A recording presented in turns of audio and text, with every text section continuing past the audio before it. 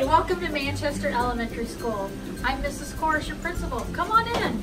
The purpose of this video today is to give you some basic information that will help you navigate our school much better. School hours here at MES are at 8.20, that's our first bell. The doors open at 8 a.m. and you can drop your child off at that point. On Wednesdays, we do not start until 8.50. When you do come in, you're gonna come through the front door and then hit this button, and that will alert the office that you need to be let in. When you enter into the front doors, you're gonna walk down this long hallway, look for the office sign. You're gonna come in here and meet one of our friendly office staff. At this point, once you enter the office door, we are going to ask for your driver's license or some sort of ID, and one of the secretaries or myself will run it through the Raptor system. This just does a quick background check to make sure that um, everyone is safe within our building. We love to have parents come in and volunteer in the classroom, in the building, and on field trips. However, you have to fill out a background check form. You bring this into the office, we copy your driver's license, and then we send it off.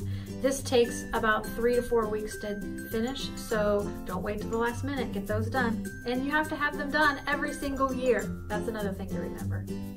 We are now in the clinic. Your child may need to come in here and take medication. That's no problem. You just need to fill out a medication release form. This needs to be filled out if you have regular medication that needs to be taken once daily. You need to bring the medication in its original packaging. It cannot be expired. Paid for lunch for your child can be super easy. The easiest way is to go online and add money to their account.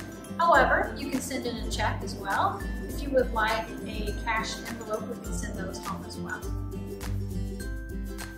We are back in the Commons. This is where lunch happens. Parents, guardians, and friends and grandparents, you are more than welcome to come have lunch with your child. It's $3.40 if you order a lunch. It has to be ordered before 9 a.m. in the morning. You can call the office to, to do that. You can pay for it when you get here or take money out of your child's account. We do not, however, allow outside food to be brought in from a fast food restaurant, so please respect that and order a healthy lunch. For parent pickup, every parent needs a number. If you need extra numbers, just call us at the office and we would be happy to give, give you more. You're going to show your number and I will call on a walkie-talkie and your child will be ready when you pull up. When you pull up, please make sure your number is clearly displayed either in the front windshield or on the side window. It makes it so much faster for us when we call numbers. Another thing to remember, we have an amazing PTO here and there are lots of events all year round. This year we're going to, going to have a fall carnival, which will be at the 1st of November. We also will have bingo night, um, and the big finale of the year is field day, which requires a lot of volunteers. So you think, how do I know about all these events? Well, look for the school newsletter to go out at the first week of every month.